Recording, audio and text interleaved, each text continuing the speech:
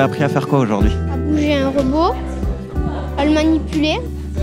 J'ai appris sur l'ordinateur qu'on pouvait bouger des morceaux et, et, et qu'on pouvait recharger le robot grâce à l'ordinateur. Remontez dans la liste. Comme ça, ça un peu. Voilà, vous prenez celui-là. Tu le prends et tu mets dans boucle principale. T'avais déjà fait des choses comme ça avant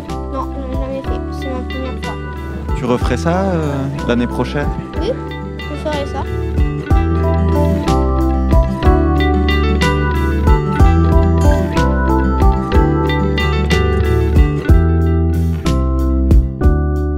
Je m'appelle Nicolas, je fais partie des Petits Débrouillards. Donc on est une association qui travaille en collaboration avec euh, le Quai des Savoirs.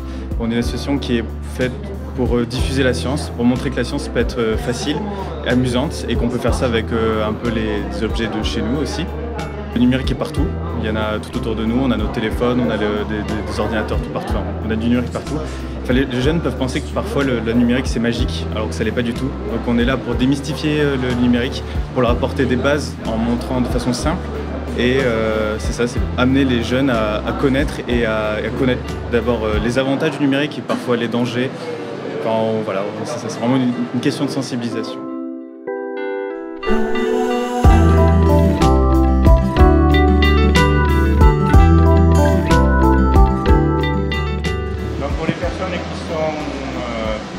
claustrophobes ou, ou épileptiques ou photosensibles, on ne pas recommander.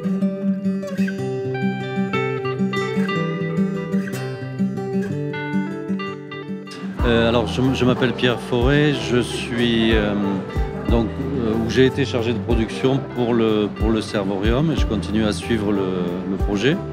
C'est un projet assez passionnant.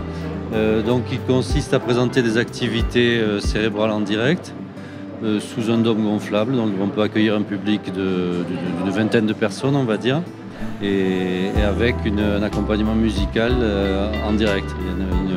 Un musicien ou une musicienne qui interviennent également. On a mis l'accent sur sur l'interaction cerveau-machine, c'est-à-dire on montre euh, comment par l'intermédiaire d'un certain type d'onde, euh, on, peut, euh, on peut par exemple influer sur le sens d'une image vidéo.